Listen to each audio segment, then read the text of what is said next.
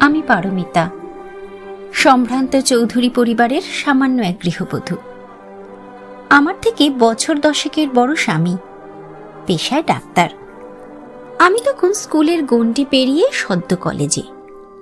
প্রজাপতির মখমলি ডানায় মুক্তির রং লাগতে শুরু করেছে একটু একটু করে। কুঁড়ি থেকে ধীরে ধীরে প্রস্ফুটিত হচ্ছে আসল পাপড়ি। মনমো করে আনারি কিশোরীর স্বপ্ন উড়ান, আর বেহায়া শরীর জুড়ে ঋতু বদলের সুগন্ধি।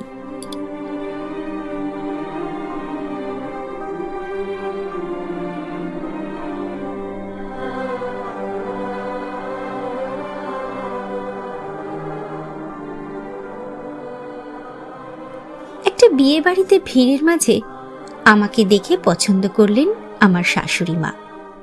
ভালো পরিবার, উপযুক্ত পাত্র, আর কি চাই? বিনা দ্বিধায় রাজি হয়ে গেল আমার পরিবার। আমার অনুমতি? কিসের প্রয়োজন তার?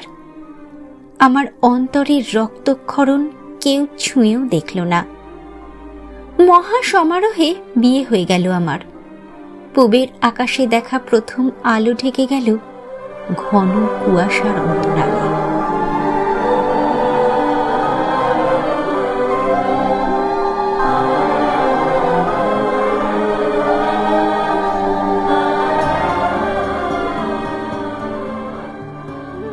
আমার মনের গোপন ঘরে সেই সুখ পাখিটা বুকের ভেতরে কুমড়ে মরল তিলে তিলে হৃদয়ে বসন্তের ঘোর লেগেছিল সত্য সত্য।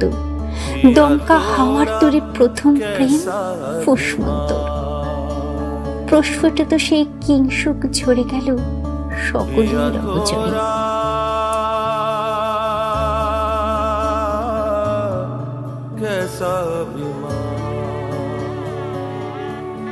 চৌধুরী বাড়ির সিংহ ফটক পেরিয়ে দুধে আলতায় পা রাঙিয়ে শুরু হলো জীবনের এক নতুন অধ্যায়। উলুর শঙ্খধ্বনিতে মুখরিত হলো চারিদিক।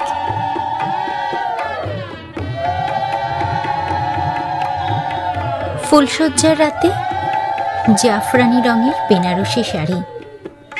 গলায় সীতাহার আর আলগা খোঁপায় জুঁই ফুলের মালা। আমার বড় যা নিজের হাতে সাজিয়ে দিলেন আমায়।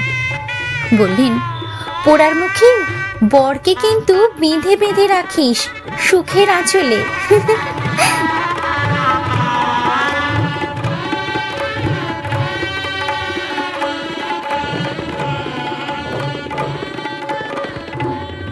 সেই কান্তিময় রাতে তিনি আমাকে ঈষৎ স্পর্শ করলেন বটে, কিন্তু বিব্রত করলেন না। বললেন একে অপরকে আগে ভালো করে চিনে নিতে দাও। শ্রদ্ধায় মাথা নত হলো আমার। ধীরে ধীরে আমরা নিবিড় হলাম। স্বামীর ভালোবাসায় সিক্ত হলাম। আমার স্বামী আমায় চোখে হারাতে লাগলেন।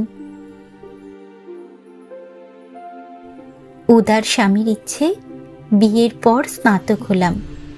যদিও তা না হলে আমার ডাক্তার স্বামীর সম্ভ্রম নষ্ট হতো হয়তো। ইচ্ছা ছিল আরও অনেক অনেক পড়ব। আমার পিতৃসম শ্বশুরমশাই মাথায় হাত রেখে বললেন, তোমার শাশুড়ি মা সংসারের জন্য বহু পরিশ্রম, বহু ত্যাগ করেছেন। পারলে এবার তাকে বিশ্রাম দাও, মা। সংসারের যাবতীয় দায় মাথায় নিলাম অসংকোচে।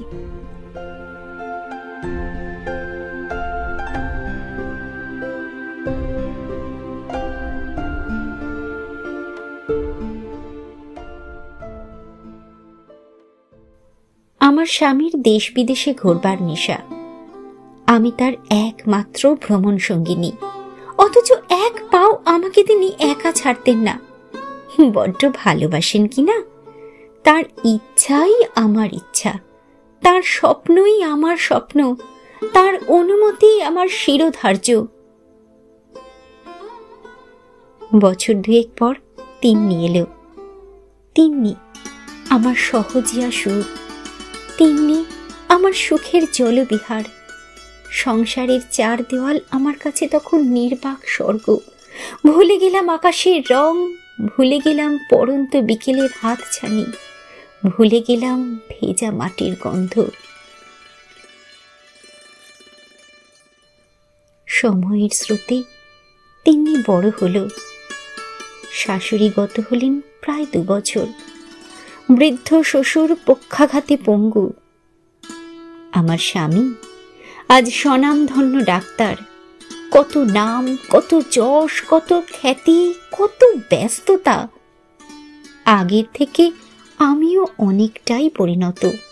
ছোট ছোট আবেগগুলোকে শৃঙ্খল পড়াতে সাবলীল।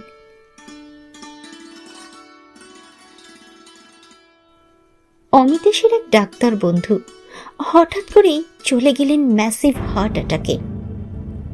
আমার সহৃদয় স্বামী মানসিকভাবে সঙ্গী হলেন ওই বিপর্যস্ত পরিবারের। নাবালক ছেলে আর তার মায়ের পাশে দাঁড়ালেন সদিচ্ছায়। আমার জন্য পরিমিত সময়ের ভগ্নাংশ আরও কমতে লাগল। সামান্য কথা কাটাকাটিতে একদিন অমিতেশ রাগ করে বললেন, আমি আছি, তাই তোমার এত ঠাঁট, এত পাট আমি ছাড়া তোমার আইডেন্টিটি তো জিরো বুঝলে? বুঝলে তুমি? প্রবোধ দিলাম মনকে। ভাবলাম সত্যি তো, আমি যে আমার স্বামীর গর্বেই গর্বিনী, কিন্তু কিন্তু ভেতর ঘরটা কেঁদে উঠল। চিৎকার করে বলতে চাইল আইডেন্টিটি চাই আইডেন্টিটি তখন তিনি আমার ধ্যান জ্ঞান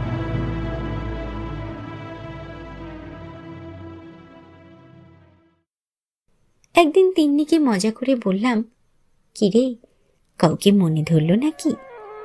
ও হেসে বলল, তোমার মতন বদ্ধ খাঁচা তোতা হতে বলো না তো মা, তার চেয়ে এই বেশ আছি। তিন্নি শিক্ষিতা, আধুনিকা, ঠাড়ে ঠোরে বুঝিয়ে দিল, ওর গন্তব্য খোলা আকাশ। তিন্নি যেন খরস্রোতা নদী বেপরোয়া অকুত ভয় কোনো কিছুই ওর গতিকে রুদ্ধ করতে পারে না। রিসার্চ প্রজেক্ট নিয়ে ও চলে গেল ক্যালিফোর্নিয়া। যাবার আগে আমাকে উপহার দিয়ে গেল একটা অত্যাধুনিক মুঠোফোন। শিখিয়ে দিয়ে গেল মুঠোফোনের বহু কেরামতি। ফেসবুক, হোয়াটসঅ্যাপ, ইনস্টা, গুগল, নিরেট অভিমানে ঠাসা। মেঘলা দুপুরে কিংবা মধ্যরাতের ক্লান্তিতে, আমার একমাত্র সঙ্গী তখন আমার সেই প্রিয় মুঠোফোন।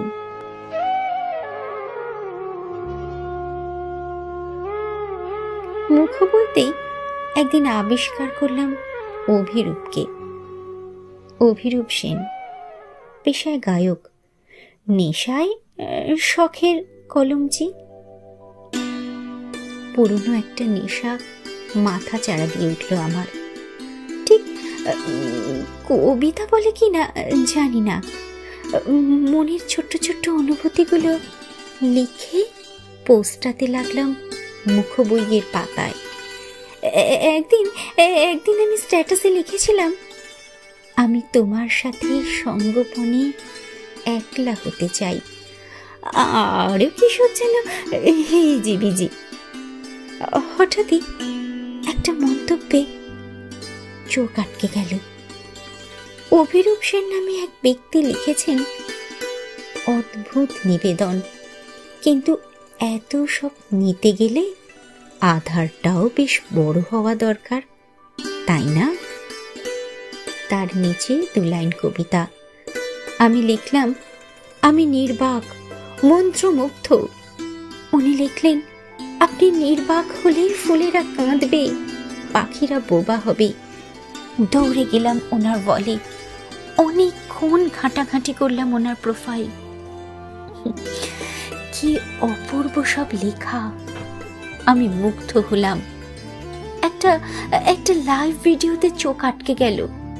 দেখলাম উনি গাইছেন আজি ঝড়ের রাতে তোমার অভিসার। পরাণ সখা বন্ধু হে আমার। কি অপূর্ব কণ্ঠস্বর আমি আমি ভেসে গেলাম বাইরে তখন ভীষণ ঝড় আর আমার অন্তর্মহলে অথই শ্রাবণ বহুদিন পর আমি ভিজলাম চাপ চাপ অভিমান গলে পড়তে লাগল আমার চিবুক পেয়ে ফ্রেন্ড রিকোয়েস্টটা প্রথম আমি পাঠালাম উনিও বন্ধুত্বের হাত বাড়ালেন। উন্মাদ স্রোতে টানি মুহূর্তে ভেসে গেলাম। আমার জীবনটা তখন খোলা খাতা। আর সেই খাতার একমাত্র পাঠক আমার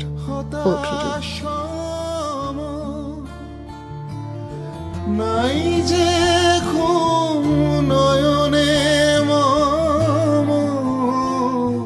আপনি থেকে কবে যে তুমি হলাম নিঃশব্দে আমার মন বাগানে তখন হরেক রকমের জারবেরা, পিটুনিয়া, সেলভিয়া, কখনো লজ্জায় রাঙা হই, কখনো বা অভিমানী নেই। বুঝলাম, শরীরের বয়স বাড়ে, কিন্তু মনের নয়। মধ্য চল্লিশের পারমিতা, ওর চোখে অপরূপা, ওর হাত ধরে প্রশস্ত হলো আমার যাত্রাপথ। আমি লিখতাম আর ও উৎসাহ দিত। আমি থামলে থেমে যেত ওর অপ্রতিরোধ কলম। অভিরূপ বলতো, তোমার ভেতর আগুন আছে, ছড়িয়ে দাও তার প্রভা। সুখ তারা হয়ে নয়, তোমাকে জ্বলতে হবে ধ্রুব তারা হয়ে। লেখার প্রতিযোগিতায় কখনো কখনো আমরা একে অপরকে ছাপিয়ে যেতাম। কি অদ্ভুত ভালো আমার স্পর্শকাতর অভিমানী স্বামী আমার এই পরিবর্তন মেনে নিতে পারলেন না। শুরু হলো নিত্য অশান্তি।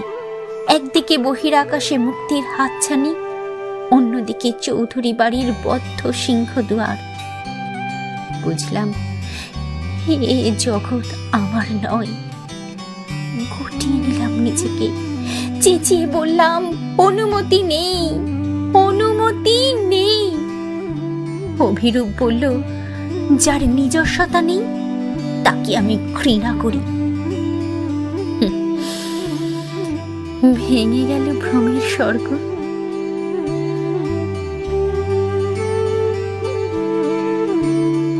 ঘুম আসত না রাতে। অথচ অভিমানী মন বিশ্রাম চাইত খুব।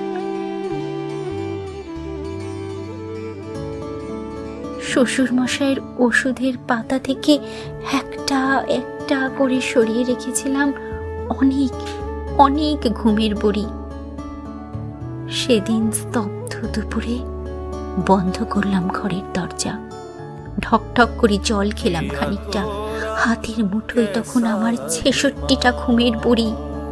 চোখের কাজল ভিজিয়ে দিচ্ছে আমার সমস্ত সত্তা। হৃদয়ের অন্তরালে চির মুক্তির হাতছানি আর অলস ভাবনায় ছায়া ঘন নিবিড় মুহূর্তরা। আহ কি অনুপম সুখ। কদম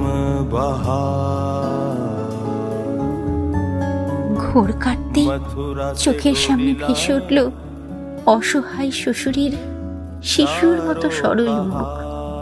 আমার দিকে চেয়ে বলছে দুপুর যে গড়িয়ে গেল सावन ला মারে বড্ড খিদে পেয়েছে আমার कदम খেতে দিবি না আজ লাফিয়ে উঠে বসলাম ছড়িয়ে ছিটিয়ে গেল সমস্ত ঘুমের বড়ি হৃদয়ের গ্রন্থি ভেদ করে জমে থাকা জ্বলন্ত খুবটুকু শীতল ছাই হয়ে গেল অবজরে नहीं आए সুখের সাগরে সাঁতার কাটা হলো না আর। ফিরে এলাম বাস্তবের মাটিতে। দায়িত্ব কর্তব্যের বেনু জলে। আমার সেই চিরপরিচিত বেহায়া রাজত্বে।